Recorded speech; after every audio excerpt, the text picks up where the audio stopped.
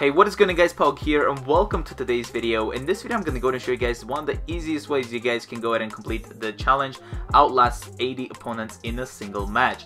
Now as you guys can see, the best way is to camp and stay in the bus until the bus driver kicks you and as soon as it does, just open up your uh, glider immediately, slowly glide down somewhere in a circle and especially if your circle is in Fatal Field, that's going to help out a lot. As you can see, just hide in these uh, bushes here and you should be good. So I hope this video was helpful. If you guys are new to the channel, consider subscribing and I'll see you guys in the next video. Bye guys.